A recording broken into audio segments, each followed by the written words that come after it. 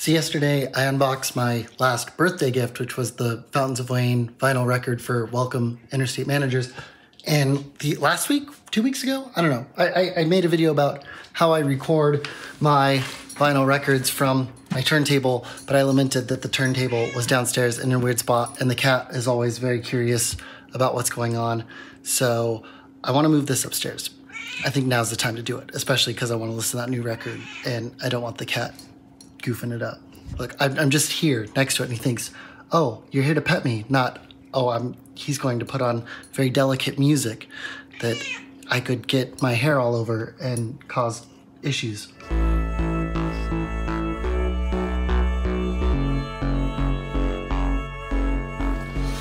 Oh, it looks so empty in here without the record player. What should I put in here next to the Apple TV, huh, Cat? Huh?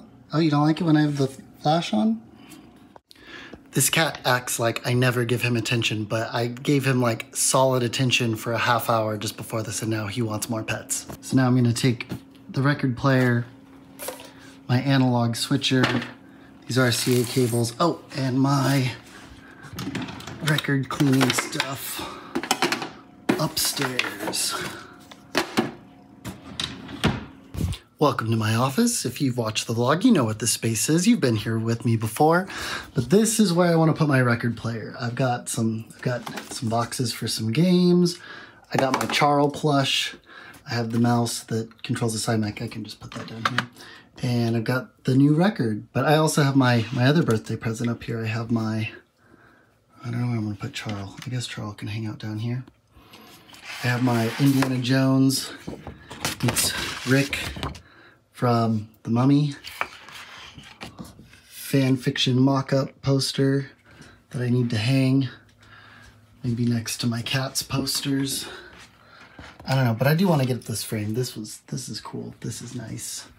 Uh, so I do want to do something nice with this. Uh, where do I put this for now? Hang out up here with Baby Yoda. I'm gonna put it this way so it doesn't get dusty. And then I also need to figure out what to do with my little posy people. They're actually kind of holding up the cable for the little light bulbs here that uh, I should probably do something here. I'd love to get some Aputure B7Cs so I can control the color of them. Um, and I'll put take those games boxes and put them with the other game boxes. But all right, I think can make this fit up there. And hopefully I, hopefully I don't have to move my posing dudes.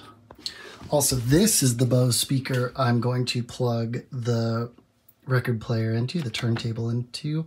Uh, so the analog switch will be nice because there's just one aux cable in the back of it. I've got the iPod mini plugged into it and I sometimes plug in the electric drum set into it. Um, I, th I think it sounds good. I got the remote for it, still works, I think. Yeah.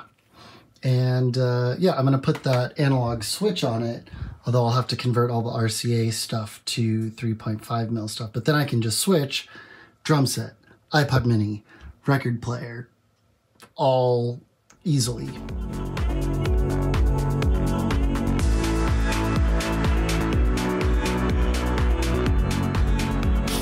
the cable built into the turntable is just a little too short.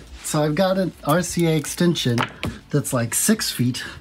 So I've just got to keep it nice and tight so that I can extend just to the little switcher right here. Dang it.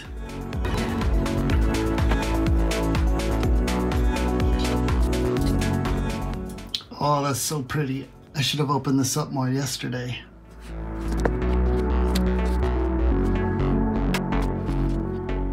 Okay, here we go. First test.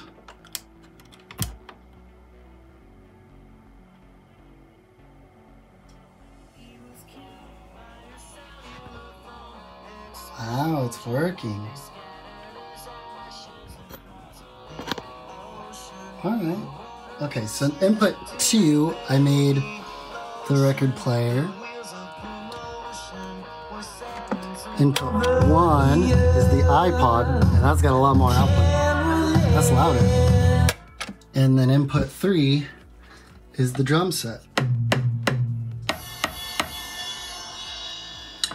So now I can just switch between all of my sound inputs